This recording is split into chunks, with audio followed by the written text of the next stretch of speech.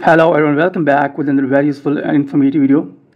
In this video, I'll show you if you're trying to change country or region on your iPhone device and you are having this type of problem and you are not able to change your country or region on your iPhone or iPad device on App Store, then here in this video, I'll show you how you can easily fix this problem if you're not able to change the country or region on App Store. So first of all, here you will need to open settings on your iPhone or iPad device then after that here you will need to tap on your apple id profile and here you will have to tap on subscriptions and here you will need to cancel all the subscriptions on your iphone or ipad device. Then after that check the problem fixed or not. So if you're having still this problem then here you need to open app store on your iphone or ipad device. So here is app store. You'll need to open this. Then here you'll need to tap on your apple id profile. Then again tap on your apple account. So after that here you will have to wait for a few minutes. And here so here you will have to spend all the ID balance on your iPhone or iPad device. Then after that, check the problem fixed or not. So if you're having still this problem, then here you'll need to close this tab. Again, open settings on your iPhone device.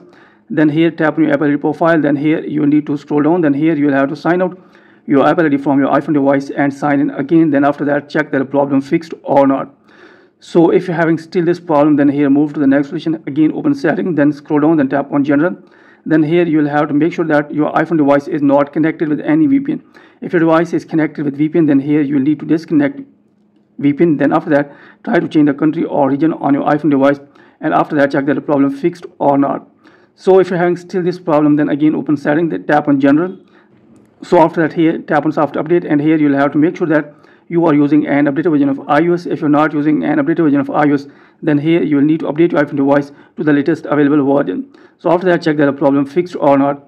So if you're having still this problem, then here move to the next section. Again, open settings, then tap on general, scroll down, then tap on transfer or reset iPhone, then here tap on reset, then here you need to tap on reset network settings.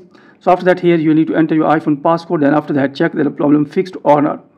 So if you're having still this problem, then again open settings, then scroll down and here you need tap on screen time.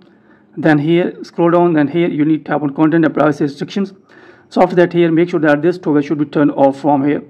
So after that here, you need to open App Store on your iPhone device. Then again tap on your Apple ID profile, then tap on here your Apple ID. So after that here, you need to scroll down and here you need to tap on change country or region. Then here you'll have to wait for a few minutes then here you'll have to select your country. Then after that you will be able to change your country or region on your iphone or ipad device.